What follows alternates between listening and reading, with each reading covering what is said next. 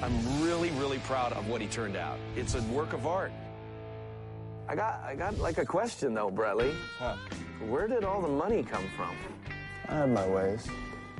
American Restoration, also known as Kings of Restoration in Europe and the UK, is a popular reality TV series which aired on History Channel for seven seasons from 2010 through to 2016. The show mainly focused on the staff of the antique shop, Rick's Restorations, with the main star being the shop's owner and founder, Rick Dale. American Restoration is the first spin-off from Pawn Stars, in which Rick had previously appeared numerous times as an expert in restoring various possibly valuable items. American Restoration cast included Rick, his wife Kelly, their sons Brettly and Tyler, Rick's brother Ron, and other employees at their shop. It also features cameo appearances from the cast of its parent series Pawn Stars and other History Channel shows such as Counting Cars and American Pickers, often giving their expert opinion, while the other guest stars included celebrities such as David Copperfield, Greg Biffle, and Billy Joel. The cast of the show was changed completely in 2015, and instead of Rick's restorations being the main focus of the series, Season 7 centered on five different restoration shops located across the US. This move by History Channel producers was highly controversial and left many of the series fans wondering what had happened to the old cast. Before American Restoration hit the TV screens, History Channel made waves with their popular reality series Pawn Stars, which started airing in 2009. The series had a unique premise, centering on a father and son who operate a pawn shop in Las Vegas, Nevada. One of the early stars of the show was certainly Rick Dale, who often appeared as a restoration expert. And noticing his popularity, History Channel gave him his own show, American Restoration. It was certainly a smart move. Rick Dale had already been in the restoration business for more than 30 years. In fact, not only was it his line of work, but he'd been repairing things for practically his whole life. Before opening his own restoration shop in the early 1980s, Rick ran a construction business, which wasn't very successful, and he struggled to make ends meet. Around that time, he stumbled across a Coke vending machine, which he repaired himself and sold on the flea market for a decent profit. This inspired Rick to continue restoring old machines and furniture quite successfully. So in 1993, he closed his construction business and opened a restoration workshop. However, business went slowly for a while. This changed in 2007 when he married his second wife, Kelly, who inspired him to continue doing the things he loved while she would take care of the business side of things, including marketing. As Rick's business grew, he was approached by Pawn Stars producers who wanted him to pawn a gas tank he had listed for sale. Rick wasn't really interested in said deal, but offered to become an on-screen expert in restoration.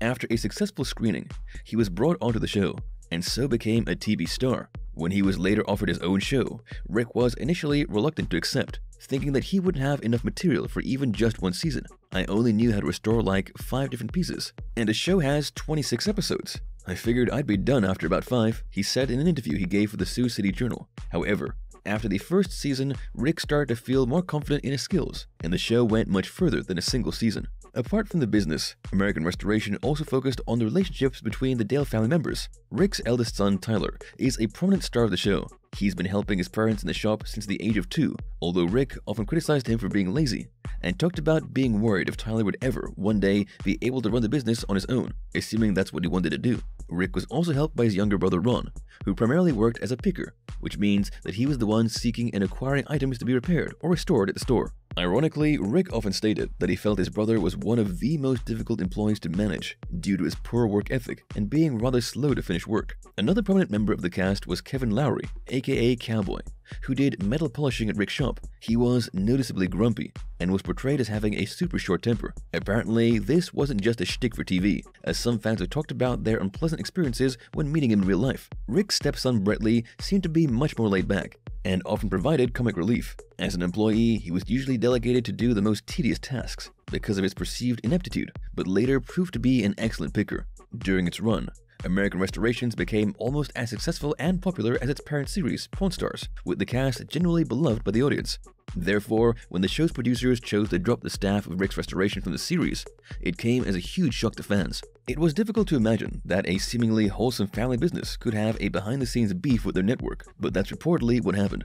Apparently, Rick Dale and the History Channel team had several disagreements about the creative direction that the show would take, which eventually resulted in Rick and his family being cut from the show entirely. In addition, some reports stated that Rick had become quite difficult to work with, and with ratings dropping somewhat, the network didn't see any other solution to the problem. Neither Rick nor History Channel have ever provided a full explanation for what happened.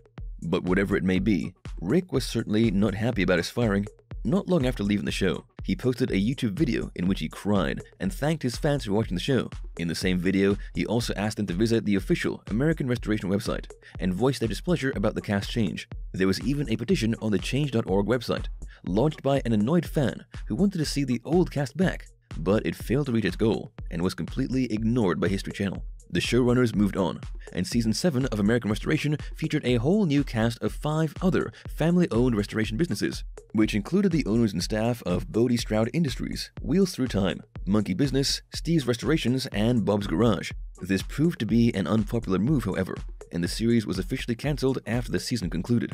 However, it appears that History Channel producers have since warmed to Rick Dale again, as he appeared in an episode of Pawn Stars in 2020, after a seven year long break, but it's still rather unlikely that American Restoration could be rebooted. Even though American Restoration came to an end six years ago, it's seeing regular reruns and is available on streaming platforms, so Rick and his family are still reaping the benefits of the show's success. Although the original Rick's Restoration shop has been shut down, the family is now operating another store in Las Vegas, Nevada, which is open for visitors and tours. Members of the original cast haven't starred in any new shows since American Restoration concluded in 2016, which means their fans don't really know what they're up to nowadays. Rick is still active on social media, showing off his new projects, and has a YouTube account called The Idea Factory Studio, onto which he uploads videos of himself restoring vintage items, in a similar manner to his old show.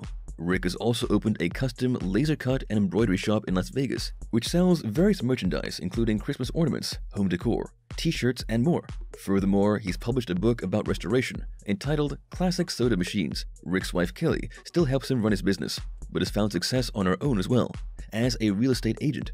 Their son, Tyler, is still in the restoration business, mainly working on restoring vintage trucks, as revealed by his Instagram account, while his brother Brettly has set up his own business called Cleanworks Blasting, which offers cleaning and paint stripping services. Although the alleged fight between Rick Dale and the American Restoration showrunners, which resulted in his firing, remains the show's biggest scandal, there were quite a few other issues happening behind the scenes. Rick's Restorations had a solid reputation before the series started airing. However, their image became tainted as the show progressed. Apparently, doing quality work has proven to be difficult while simultaneously filming a reality TV show and some customers took to social media to complain about shoddy reparation work done by the Rick's restoration staff. Fans have pointed out that, for example, in an episode involving a McCulloch go-kart, one can clearly notice that the tires hadn't been properly mounted, which resulted in wobbly movement of the cart, while others noticed chip paint in some other projects. It's also been noticed by customers that Rick Dale has been overcharging for his work since his shop was featured on TV. According to sources, Angel Delgadillo, who appeared on the show and agreed to let the filming take place in his memorabilia shop, was particularly enraged when he paid more than $4,000 for his old jukebox to be restored, only to receive it back two months later in non-working condition. On the other hand, Rick has noted that once his shop became more well-known, customers have started bringing in things in increasingly worse shapes. I think all the good stuff is done. The stuff people bring in now is testing me, he said in an interview with the website The Spruce. After 30 years in the business, I learn something new every day, he added. He has also talked about how keeping a normal, standard delivery schedule to clients has become very difficult. The production crew would want us to stop fabricating because they're recording one of us talking, and they didn't want the background noise, Rick explained. In addition, as the show became more and more popular, clients and even fans would show up at Rick and Kelly's house unannounced. Fans of the show have also been complaining about the public tour offered of Rick's Restoration's new shop in Las Vegas, which has prompted negative reviews on websites such as Yelp and TripAdvisor.com. According to visitors, there are two versions of the tour, one that costs $5 and lasts only 10 minutes, and grants little more than access to the gift shop. The other tour costs $50, but doesn't offer a lot more. Fans who pay for it may enter the shop, take photos, and see some items being restored, but the tour isn't guided, and if you want to take a picture with anyone from the cast, you must pay an additional $25.